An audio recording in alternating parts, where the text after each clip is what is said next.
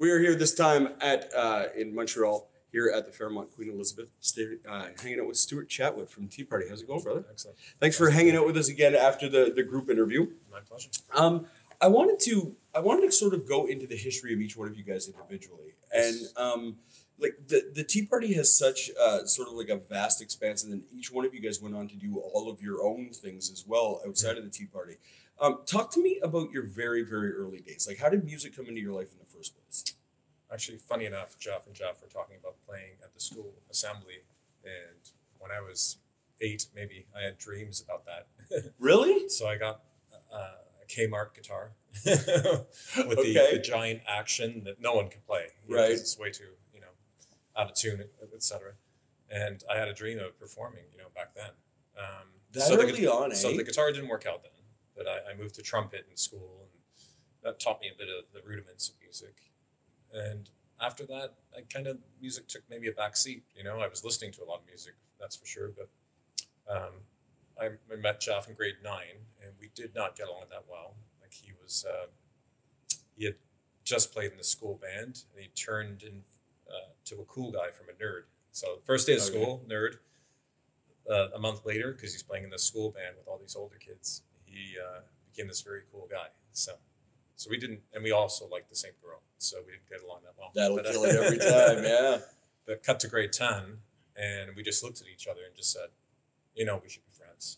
And I just got back from Europe, and I would try and go to Europe every year with my family, and just I had the cool new European clothes on and all the cool European music, and uh, so after a few weeks of friendship, he was, he said to me, uh, just one day, you know, you should join my band.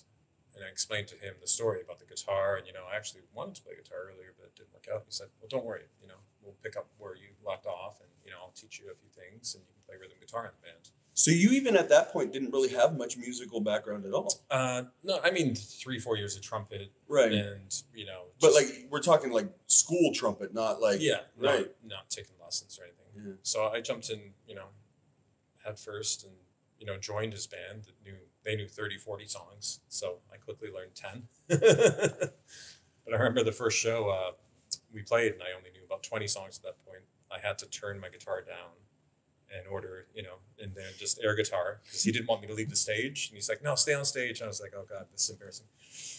But uh, so I had a lot of learning experiences then. And the second and third gigs happened on the same day. This is a funny story I'll share with you. Okay. And uh, the third gig was at Freedom Festival uh, stage downtown in front of 3,000 people. That's your third gig. the second gig, the same day, out in the county at a, a, a county festival. So we went that morning and we did sound check. And none of us had been on a big stage at that point with proper monitors. And the monitor engineer met us all and he said, All right, you 15, 14 year olds, this is the way it's going to work. You're going to point to your instrument, point to the monitor, up or down. So we start playing, and everyone's yelling at him, Turn my guitar up, turn my bass. and he's like, Stop, stop, stop. Okay, guys, point to your instrument, point to the monitor, up or down. We all start playing again. Turn my guitar, turn my know? so he's like, God damn it, stop you brats. You know, I'm not gonna tell you again. Last time, point your instrument. So after that, we all like pointed to the instrument, up or down, and finished our sound check, our first sound check really on a professional level. Learning the ropes the the hard way. eh? Then we headed out to the, con- the county gig, and that was like 35 songs, three sets. It was like way too many songs for me to learn at that point Right. in my novice years. So I had to air band for half of those, but it was a fun show. So the whole Got time you're pointing your instrument and pointing it down. I had control over that. right.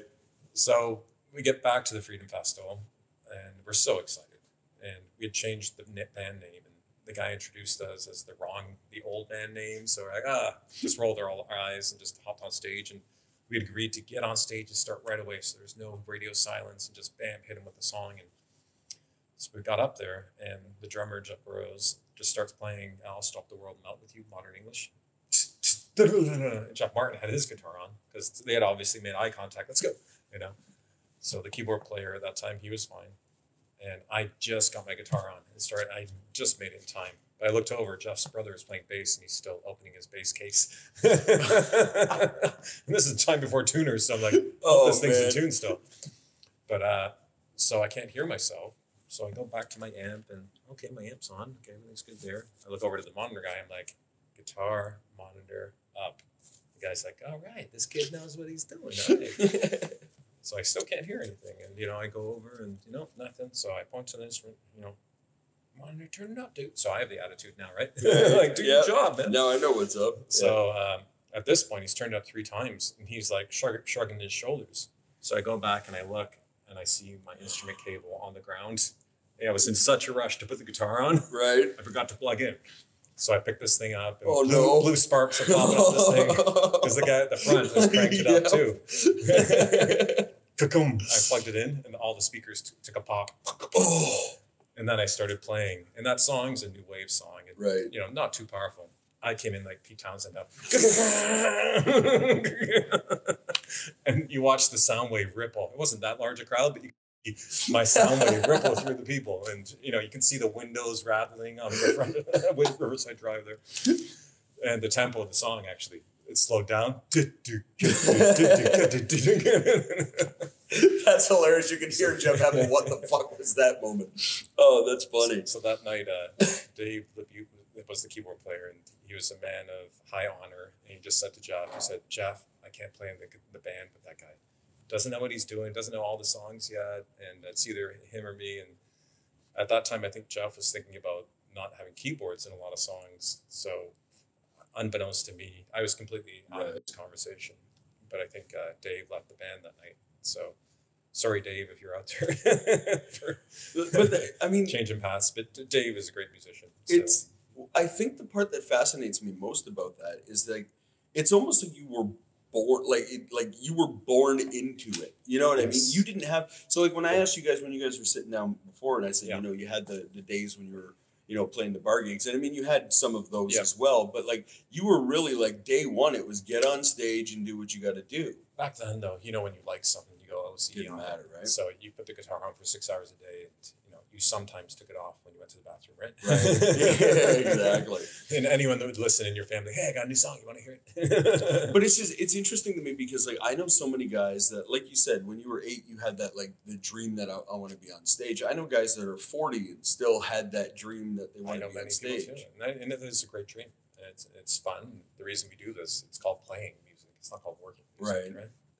But Jeff and Jeff, they didn't have a lot of lessons before they hopped on stage either, though. So Really? we've always been uh, into the frying pan, into the fire, out of the frying pan, into the fire type band, where it's like, just go for it. The best way to learn is job experience. It, it's funny, and I mean knowing now that like it, it came together so early for the two of them, like Yeah. they were playing together when they were like ten. He said, Yeah. Um, then obviously there wasn't a lot of time for for education and music to come up, but it's I didn't realize just how much you guys learned music like together. Yeah, I mean that period from being age 13, 14 to 18, oh my God, you learned every Led Zeppelin song, every Jimi Hendrix song. And if you didn't know it, you went to your friend's house who knew it and you traded rip, rip, uh, licks and riffs off each other.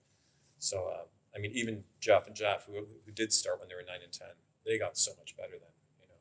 Like uh, when we lived at our apartment in Toronto where the Tea Party first came together, uh, we had a Marshall stack set up in this apartment. It was the top floor, luckily. We could open the windows and let the noise, you know, bellow out to Toronto. But, you know, he would put on Led Zeppelin 1. Okay. And then I would, at that time, I was playing bass in the Tea Party and I wanted to play with my fingers. I was a guitarist prior and a singer prior, but six hours a day for six months playing the bass with your fingers. And then you just reach a plateau where it's like, okay, I can ride that bike for the rest of my life. I know what I'm doing now, which is a tremendous freedom, you know, because any riff, any time signature can get shouted out. And you're like, okay, I got this, you know. W- was it was it a calculated effort for you guys? Well, we always knew we didn't want to be a covers band, you Mhm. know, and our heroes played original music. And actually, our heroes in particular produced their own music. So when we hit up EMI and all the labels, there were nine labels that came to see us all within a span of six weeks. And, you know, five were from America and four were Canadian. And everyone said, you've got to use an on site producer. We're not going to trust you with hundreds of thousands of dollars of recording budget because the records did cost that much. And, you know, when you think of a couple hundred thousand dollars for videos too, it was a big investment. So they had their points. But EMI Canada and I think BMG Canada at the time, they were the only ones willing to let us uh, do it our way. And EMI sent us off to Vermont in 1992 November, and they said come back with three songs, and we came back with six. And the six songs blew everyone away. It's like, okay, go finish that record. So You, I mean, I think you just partially answered the question I'm going to ask next, but maybe even before that, what do you think? Because you're you're very very young, you're Mhm. very very fresh coming out of the gate, yes, and almost right away, it seems like the record companies are paying attention to what you're doing. um, Like maybe they're not bringing you in and spending money on you right away, but they're li- they're, they're showing up to they're showing up to this thing. Actually in high school we did have dreams because we would send demo tapes to labels around the world, and uh, I'm friends with some of the people that turned us down. You know, Yeah. the Canadian industry, and uh, Chrysalis Records in the UK rejected us, and then three years later we were signed to Chrysalis. and you keep all these rejection letters as a joke at the time, and you never realize that you actually work with the people in the future that have turned you down. But I mean, half the time though, I would have turned us down too. Right. You know, you're not ready till you're ready. So it's not even so much that they were paying attention to you, is that you guys were just relentless about this from day one. We were, yeah. We had demo tapes sent out, but I mean, our little circle at Sandwich Secondary, you know, like I said, BFA. There was not only BFA, there were uh, a bunch of other punk rock bands. I mean, BFA were just the most notable one that did reggae music. So, in the same way that we did world music and rock, they just dug into Jimmy Cliff and everything and went for a, a pure. I mean, they hated Eddie Grant. You know, they liked the more pure reggae. I like Eddie Grant, but, uh, so we were in an environment where it is possible, and these are what all the other bands are doing. They're making demo tapes. They're making seven-inch singles. So, you know, we, we saw there was a path. And I remember there was a show on TV Ontario called Rock School, where it was trying to. It was out of Britain, I think. It was telling you how to be a rock musician and all Right. that. And we were just like, oh, cool. Did you did you pay much attention to those kinds of things? Because like you, you said you you had this dream about being on stage when you were coming up, but did you did you pay attention to the entertainment industry? Um, only as it pertained to us, so the music industry in, Mhm. in particular. And I mean, we grew up in Detroit, and we mentioned this often in interviews how we are in a unique situation where we were exposed to not only British rock and roll, like British rock bands saw the American blues through their British eyes with their British sensibilities and brought that to America, and that was very appealing to our palate. But in Detroit, there was also the Soup Kitchen and the great, you know, uh, legacy of authentic blues. And Jeff Martin's father was an authentic blues man. He loved taking Jeff to the soup kitchen and just Albert King and BB King and you know Three Kings and just those were his influences more so than the British rock bands. So going back to being raised in Windsor, Detroit, there were four rock stations at one point. So Right. come the age of sixteen, you knew every song by all those bands because they would go deep into the albums too back in those days too. Uh, I mean, I remember really being a ten year old and singing Led Zeppelin songs. You know, whereas in Toronto or anywhere in Canada, you just didn't have that exposure. So people like to poo poo on Windsor, but it's a really unique situation there, being you know right butted up against America and a significant American city and a significant American music city. I think Windsor gets a chip on its shoulder specifically because of that, but I actually think that that edge is what makes so many of the musicians in Windsor so so good. Um, is that just having that that sort of like jadedness to it a little bit? Yep. I, coming from it, well, it, oh, it's funny because I wasn't even going to go in this direction, but it looks like I'm going to. There's a Tea Party and Windsor have a weird connection. Have a have a weird sort of like history, right? There's this you you guys are you you guys are like the big names that that popped out of Windsor, you know, within in the last couple of decades, and you have this connection to Windsor, but the the music scene is sort of like disconnected from you guys a little bit, and and I mean, there's a little bit, you know, when people talk about you know the guys that made it, there's always that you always know the people that have the little edge to them, but it seems different when it comes to the Tea Party in Windsor. When I hear the conversation, it, it's almost like Windsor doesn't even recognize its connection with you guys sometimes. And I wonder if Um, you feel if you guys feel that. we felt it's kind of changed. I mean, initially we were part of the scene there. Mhm. Then we left and we lived in other cities, you know, since 19, I don't know, 90. Well, I mean, we were living in Toronto when the band formed, but we came back to Windsor for two years and we moved away in 94, 95, and we haven't been back since as residents, other than Jeff Burrows, of course. And there was a lot of resentment and there was a lot of hatred and, you know, they're you know, they want to be Led Zeppelin, Jim Morrison, and all that. But I found, actually across the coast in Canada, just it's too hard to continue to hate somebody for 30 years. Right. And the haters disappear and the people that like or, I mean, in the, conversely, there's bands that I hated that I don't hate anymore. I admire them for sticking it out and you know, having walked a mile in their shoes, seen what a career artist has gone through. Lately in Windsor, we've got such incredible support from the local radio station for the first time. It has started coming back Yeah. around for you. So at some point, we pissed off somebody at 89X and they just did not want to touch us and they were out to teach us a lesson and we learned that lesson. do you, do you really think it was that? oh, we well, we just know, you know, we'd be number one, number one, number one, number one, not played, number one, number one. and we just couldn't see the logic, you know, because we were there to support them in the long run. And now we get to do that because they are Right. playing us now and we absolutely love 89X and just they've done a great job. Yeah, it's not. I, I don't even want to go down this road as like a gotcha or as like anything like that. But it's just it's interesting to me because um, number one, what you said is is now it does seem to have, have changed over. Like there's a lot of people that that do seem to sort of take on the Tea parties, like the hometown the hometown heroes and that kind of thing. But I I wonder because like I know the conversation that happens away from you guys, Mhm. um, or at least the the ones that I hear. I'm sort of interested if you guys hear that side of it, like other Not than as much. No, Yeah. yeah. Yeah. So we just, I mean, So it's easy to not even. Yeah, I mean, you can't get bogged down about Of it. course. You can't be in the studio thinking about what your hometown. You know, I mean, hopefully, people, like I said, they'll see for how long, see us for how long we've been doing this, the persistence, mm-hmm. and you know, we do speak positively of Windsor. You know, and everyone from Windsor has spoken of Windsor's ills and you know the cyclical nature of the economy there and all that. But you know, like you said, it's made us tougher and more resilient. So. And more appreciative, you know. Sometimes people say it's great to live in Windsor because no matter what vacation you go on, you're going to enjoy it. Right. But I disagree. I mean, it's got great waterfront and all that, so I'm always, you know, trumpeting the benefits of the city. So. your uh, your your your travels through the Tea Party and through music and and all of your other ventures have taken you all over the planet. Mhm. How does how does home hold up in your mind? Well, actually, there's a strong ethnic community in Windsor, so Right. you are exposed to a lot of different cultures at an early age, and for food wise, for sure. You know, we were in Turkey, and you know, it's just like going down, you know, Wyandotte or you know, Right. Um, but uh, yeah, I mean, I mean, also being a border city, you're used to, to crossing the border quite often. So you think it prepared you for all of that for the travel? Yeah, absolutely. Yeah. I mean, if you're raised somewhere in the prairies, then you probably have a much more limited viewpoint of the world. So, Right.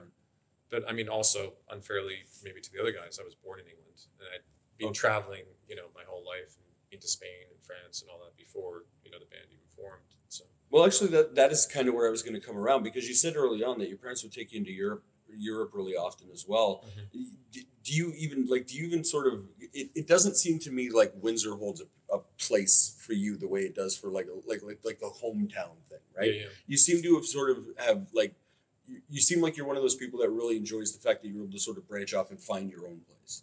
Yeah, I mean, I'm incredibly nostalgic, you know, and driving by the coach and horses and Yeah. taking a picture, and you know, uh, and you know, just the friendships. You know, I mean, everyone says it's the people in Windsor, right? Right. So, but uh, being able to travel back to England and Scotland and all that during the punk days was incredibly beneficial. You know, as a young kid, you know, seeing people with you know piercings and the, the mohawks, and you know, many years before that, crossed the Atlantic. Mhm. You know, certainly before it made it to the Midwest, but uh, you know, it did expose you to a lot of music, and having older brothers and sisters that were into that music too, and you know, we shared that common bond over the music out of England, actually, the new wave stuff and the post punk and the punk stuff as well. But uh, after actually, that was probably a high school thing for us sonically, and then we got back into the rock that we discovered as younger kids with a, a different appreciation, you know, perhaps for every single Jimi Hendrix song, you know. Mhm. Whereas when you're 12, 13, it's like Foxy Lady, cool, you know, along the Watchtower, cool. But, you know, if six was nine and Sandcastles and, you know, Castles Made of Sand, brother, um, you know, those are the songs that you gravitate maybe towards, uh, you know, when you're older. as as you were coming through as you're developing musically and i mean i it, it's it's i'm still sort of stuck on this idea that the the, the fascinating part to me is because i really thought that at least one of the three of you had some sort of like like massive sort of like musical i don't know thing that would push you in the direction to world music because it was so unusual for the time right? And i mean i realize it, it comes out as an extension from you know the 60s stuff but like i mean i was around in the 80s and 90s and people were not talking about that stuff. And so i guess I guess where I'm kind of going with all of this is is I'm really sort of I want to know why it is that a, a group of kids who didn't really have a, a, a musical background other than just a love for what they wanted to do Mhm. ended up going into such a um, an intellectual side of music because it's not like coming from a western music background and then trying to incorporate eastern music influences into that is that's not just a oh well let's mess around and see what happens You've seen that happen in pop music where it's just a Right. surface level or someone's Yeah. like put a tabla sample inside the Right. drum machine and just, you know, it's doing the same thing. and because it's not that with you guys you're not just simply sampling or adding it to it but it, it, it like i was talking to uh, i was talking to darcy as we were driving up as i'm listening to the music now i'm not i'm not i don't have a ton of theory behind me but as i'm listening to it i don't know and this is as like a, a, a benefit i don't know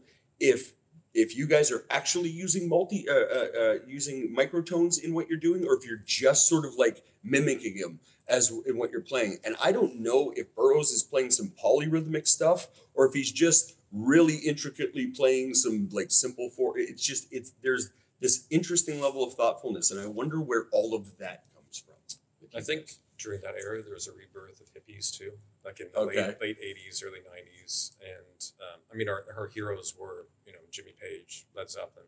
He was interested in mysticism, so that takes you into different bookstores. And when you're in the different bookstores, you hear different music. You get exposed to Dead Can Dance, perhaps, uh, combination of. Uh, um, sorry, uh, I'm drawing a blank on it. And Lisa Perry. No, no, don't quote me on the names. Sorry, names escape me. But they combine world music in a, a modern era, and you know she created her own. Lisa Gerrard, sorry, Lisa Gerrard and Brendan Perry. Uh, she created her own language to sing on the top that sounded like world music, but she was mimicking, and she created that herself. And towards within one of their records, we actually watched the DVD of their concert film before going in to record The Edges of Twilight prior to that, we didn't have a lot of money to buy instruments, so we would be interested in tunings via Jimmy Page's exposure to tunings. So we'd tune like sitars and have the resonant strings ringing. So a lot of it came by came to us uh, uh, rather naively, innocently, but we found the power and we found the wealth in those uh, those styles of music. So Nusrat Fateh Ali Khan's music, you might listen to a whole album and there'll be like six or seven little pieces of almost Western sounding music. It's really appealing to us. So we'll maybe you know learn that part on guitar and then expand on one of those ideas. You know, um, it's not you know uh, plagiarism by any means. You know, it's just taking what we've known in our Western ears and listen to a brand new melody we've never heard and grafting that into something bigger that can be appealing to people. And hopefully, some of our songs through our nine or ten records people have said, you know, oh, the bizarre. I've never heard a rock riff like that. It's so unique, you know. And when we hear that back, it's like, okay, mission accomplished. And when we see the people that the fa- fans that may come up after the show, it's like uh, they're telling us what they're listening to, and so much of that is world music.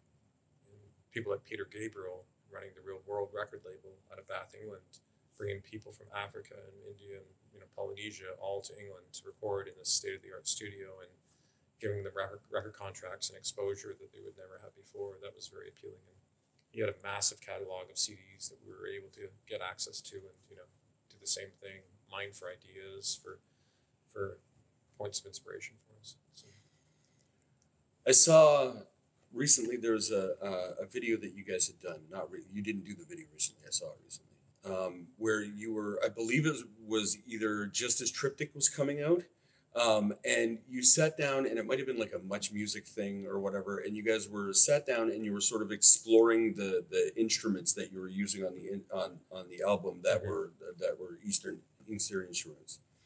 And uh, it was actually it was Nick Baluli that sent me the, the thing, and Nick and I were, were were talking about it. And one of the things that sort of hit me watching that sort of segment is if you guys did that segment today, Mhm. somebody, apparently me, would scream cultural appropriation. we got a bit of it back then. Did you? Yeah. Did you really? And I mean, it's you're entitled to your own opinion. Mhm. But if we took that attitude towards everything, we wouldn't be exposed to things. And someone's got to break through and break through that line and just say, okay, I'm bold enough to bring this foreign instrument bring it back to North America. Not going to play it particularly well, but you're going to see what it is, and then maybe some way somehow you'll be exposed to something and go search on your own who's the best player of this instrument. You know, whether it's the Sarod and and the funny thing, what happens over the years, you become better at these instruments. And you know, Jeff on Sarod, he's quite a good Sarod player. You know, and um, you know, we'd actually go to some of the schools in uh, California, Northern California.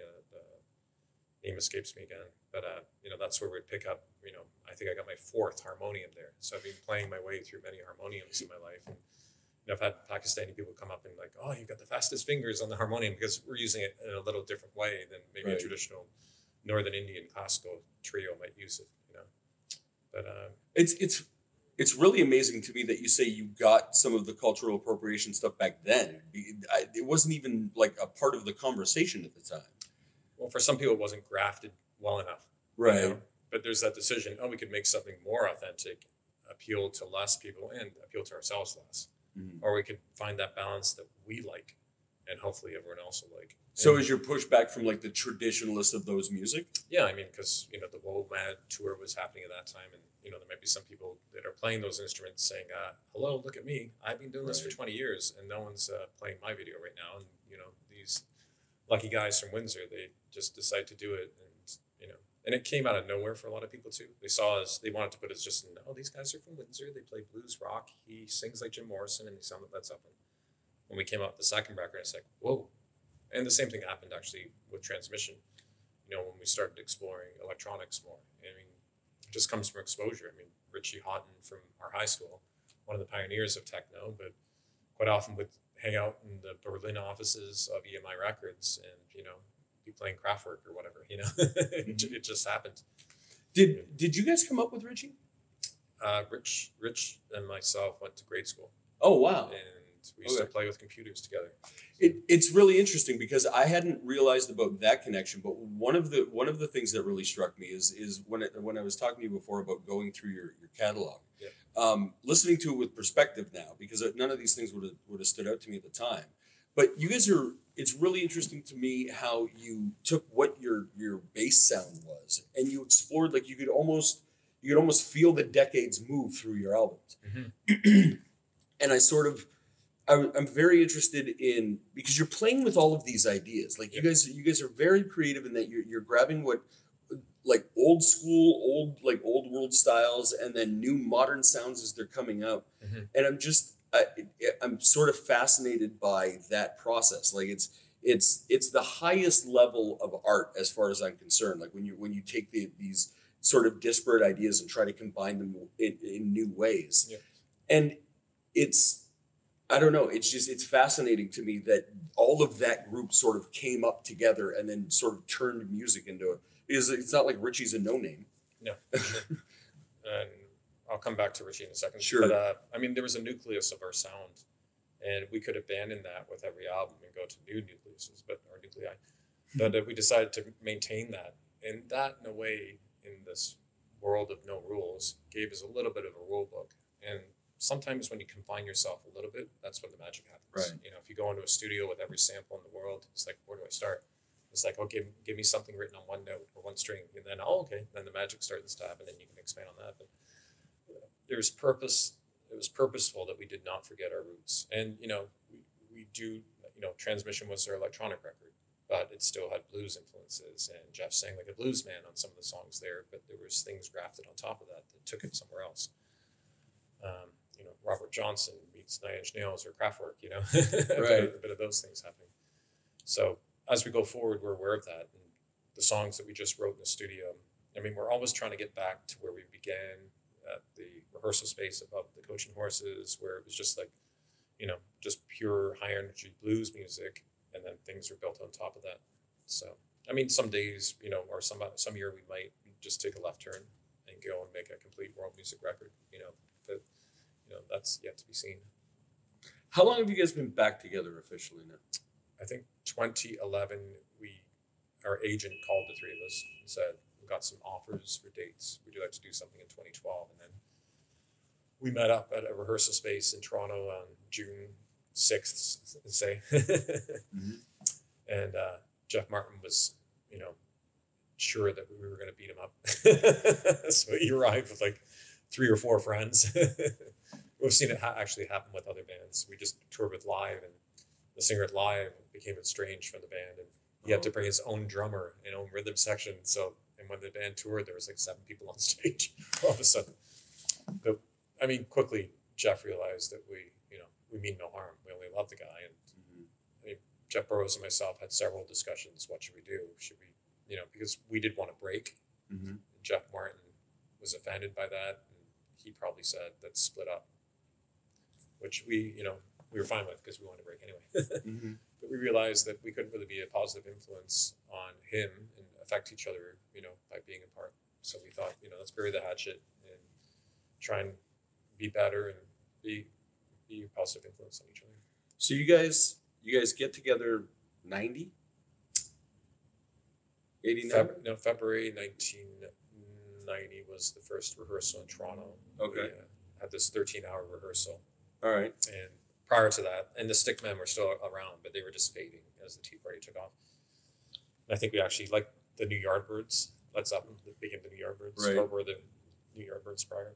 Uh, we had to do a couple of gigs that the Stickmen had committed to. So I think the first couple of gigs in Toronto were the new Stickmen Gotcha. before we had decided on the name of the Tea Party. But uh, I think the first official gig was like in June, the end of June in uh, 1990. So 90 until, and then when do you guys take the take the break? 2005 at the end of a cross country tour with Def Leppard. Oh, really? We're just like, Yeah, just burnt out. yes. Yeah. It's like, what are we doing? We got to reset our lives here. What was it that was the burnout? Was it the was it the constant motion?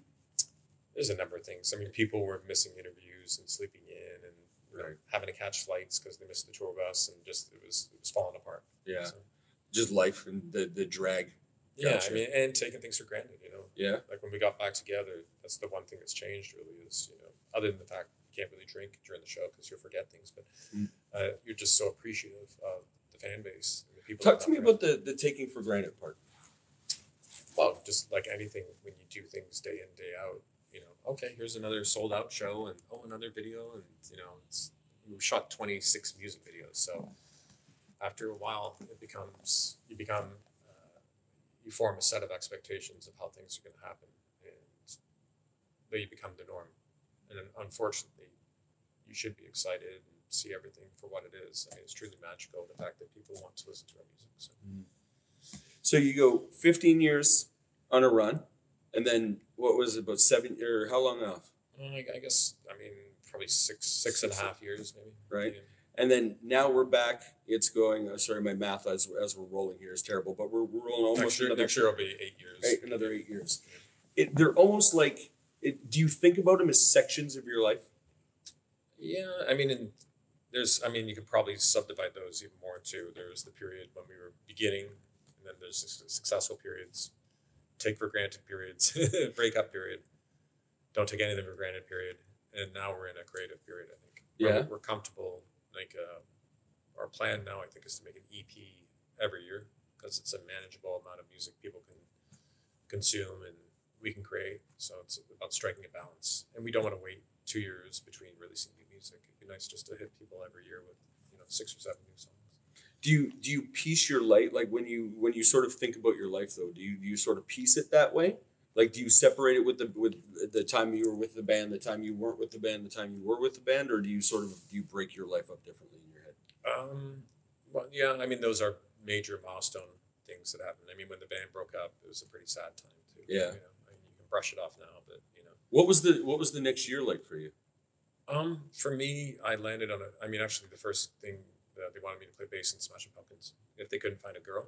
'Cause They weren't having any luck finding a girl. So Wow. I was on a, a plane to go to LA, but then they found their girl finally. But what, from what I've heard, he can be quite difficult to deal with. But everyone was like, "Well, he deals with Jeff Martin." It's no. but, um, my friend from New York, who uh, worked with us as our A and R guy at Atlantic Records, um, his name's Tim Sommer, very famous uh, A and R guy for signing Hootie and the Blowfish. But prior to that, he was a, a VJ on VH1. Um, he played bass in this band that uh, Michael Stipe produced. Um, I'm drawing blank on the name. I'll come back to that. I have like a minute delay, right? Yeah, yeah. Um, Hugo Largo is the name of that band. Um, had two bass players. Oh, nice. no drummer. But uh, Wow. prior to that, he was a, a music journalist for Trouser Press, and he was a DJ on NYU Radio with uh, Noise, the show, which all the influential musicians in New York in the early '80s listened to it. You know, from you know the agnostic front type people to Bad Brains, but also uh, three young guys called the Beastie Boys, and they would Never send him tapes all the time, and he actually booked their first official gig and they thanked him on a few records and they actually sampled him. So, so Tim's got all these crazy stories about his different path through life, but he ended up in New Orleans uh, making an ambient record with this uh, great singer down there, and the record didn't go many places, but it went to a friend of his in New York who's this uh, very successful uh, psychologist, and she had triplets, and they were suffering from this sensory processing disorder. She felt the music lends itself in a therapeutic manner, so we set about raising awareness for this illness called SPD at the time, but it's since been renamed misophonia. And we thought, let's make a record and then we'll make a therapeutic record. The record was ambient music with folk songs, so This Land Is Your Land, with successful famous singers. So This Land Is Your Land, we got to record Glen Campbell Wow. and that song's out now. The project's called Uncommon Folk, but we joke about Chinese democracy because it, still hasn't been released in full, and we started in 2006. But Wow. very special moments in that break, though, where I got to record Mavis Staples and um, Robin Sander, um, Jakob Dylan's on the record, uh, the Blind Boys of Alabama. So it's, yeah, so it'll be quite an interesting thing when it sees light day, which should be within the next year. They say don't meet your heroes, and you've you've had an opportunity to meet a whole bunch of yours. Yeah. How's that experience been for you? pretty good. you know. Yeah? I know Jeff. He'll elaborate on his portion, but he stayed with Jimmy at Tower House in London, and just, you know, I think his uh, idea to replicate some of Jimmy Page's life got that bond got stronger. You know, after meeting him. I mean, I think because we're musicians ourselves and we've had our own little level of success. When you meet someone with the larger level, and someone might say, "Oh, that guy's an a hole" or whatever, it's like, okay, well, maybe he is an a hole that day, or maybe you approached it the wrong way. You know, we realize the complexities, and it's not all black and white. And then when you hear a guy's an a hole from like ten people in the industry, that's like, okay, maybe the guy's an a hole. Right. but uh, I think we had more empathy for the heroes. I mean, and I don't know, we've always seen them as regular people that have been thrust into the limelight and written iconic songs, of course. But uh, I mean, perhaps we don't hold them in, uh, in the first place on such a high pedestal as you know maybe some other people do. Right. Talk to me about the, the video game work. Because that's that's super like just having read the list, like I said, I was a bit embarrassed because you've worked on like every one of my favorite the Prince of Persia series is like my favorite video game series ever. That was a magical period, and it still continues to stay. So it's Oh, great. the bulk of my work in the studio is video game work, and uh, the latest game is uh, Darkest Dungeon, working on the sequel to that now. And it's been a huge uh, indie hit and a critical hit too, which is nice. And you mentioned the Prince of Persia series, which was also you know across the board pretty much a critical hit too, and successful. And so I've been lucky that manner to uh, to participate in this. But it, it started in 1996 when we recorded uh, a world music record, uh, or the we got really into the instruments, an EP called Alhambra, and our engineer Simon Pressey went on to work Ubisoft, uh, and he was the engineer on Alhambra, our world music record, and uh, he saw you know the influence of all these instruments, you know, and he was blown away by our ability, our ability to play them and Mhm. to craft such a, a sonic texture that when it came time to find a composer for the Prince of Persia, he asked me if I wanted to score it, and I thought, great. So uh, I didn't get a call for a year, and then a year later he said, "Okay, we're ready to have you pitch." I'm like, "Pitch? What does this mean?" Oh yeah, you got to submit music and compete against ten or twelve of the best composers in Hollywood. And I was like, uh, "Excuse me." so I tried my best, and they loved my music, and the rest is history. So I went on and did six or seven of those, and You composed the music for the entire series? uh, the first game by myself, and then I hooked up with Inon Zur, who's another famous composer, to do some of the more orchestrated stuff because it's not my area of expertise doing arranging for 64 piece orchestras. And, you know, we have, you know, done that with the Tea Party on a tour, and we've been very fortunate to work with orchestras. But uh, I wouldn't want to take uh, the, the full uh, responsibility of that. So Perfect. Well, obviously, I mean, I'd love to continue on with this, but we, we have to get on with this. But it's, it's been such a pleasure talking to you. You guys had Alright. such an incredible story. Thank you so much. Alright, It's such a pleasure, brother. Thank See you.